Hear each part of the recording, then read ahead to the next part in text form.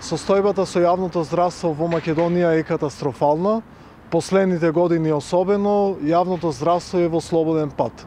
Услугите на граѓаните, на пациентите не им се даваат во поради немање на пари во јавното здравство и најквалитетните здравствени работници ја го напуштаат и јавното здравство и државата.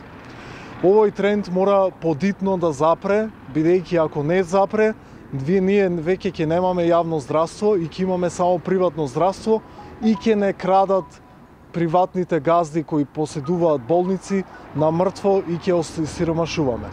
Дојдена е ситуацијата кај што граѓаните мораат да земаат кредити и да осиромашуваат како резултат на тоа само за да се за да добијат нешто што треба да биде само по себе разбирливо во една земја која тврди дека е социјална држава.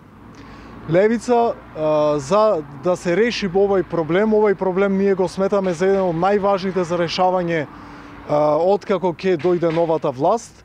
Левица смета дека прво треба да се зголемат платите на здравствените работници за да се спречи екзодусот од јавното здравство на најквалитетните лекари во државата и да се тргнат бирократските обврски кои се наметнуваат на докторите и кои нив ги спречуваат да се посветат на вистинската работа, а вистинската работа е работата со пациентите, а не со хардиите кои им се наложуваат да ги пополнуваат.